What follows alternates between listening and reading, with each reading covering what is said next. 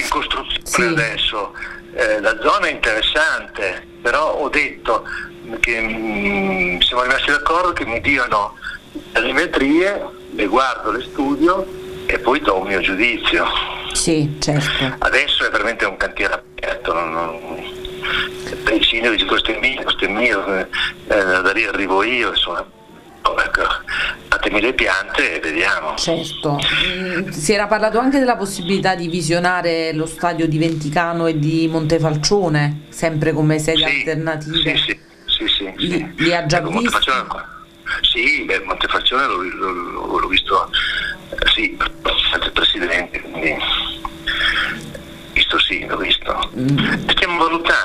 Valutando, non, credo che non, io non ho ancora deciso nulla, il Presidente lo stesso, sì. mm, eh, adesso dobbiamo vedere, mi devono arrivare queste, queste piante che ad oggi non mi sono ancora arrivate, faremo la valutazione e poi credo prestissimo eh, il Presidente dovrà decidere. Sarà comunque un impianto con i tubolari, insomma, smontabile, tra virgolette?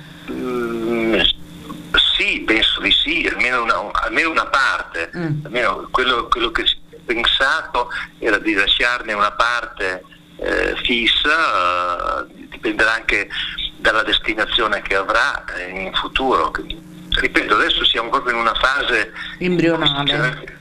Eh, qualsiasi cosa dicessi deve essere smentita perché dipende uno dal luogo e una volta determinato il luogo eh, stabilire un, dopo eh, l'utilizzo dell'Avellino Calcio che, che utilizzo ne avrà. Eh, eh, se ci giocherà la femminile, ci giocherà eh, i ragazzi oppure no, dipende. Altro passo fondamentale, architetto, è l'appuntamento del 17, questa prima conferenza dei servizi. Eh certo, eh, quello sia importante. Ma insomma io, noi siamo abbastanza tranquilli, nel senso che ho visto, come avete letto, insomma, grande collaborazione da parte di tutti, grande disponibilità, tra l'altro persone anche molto competenti e molto attente.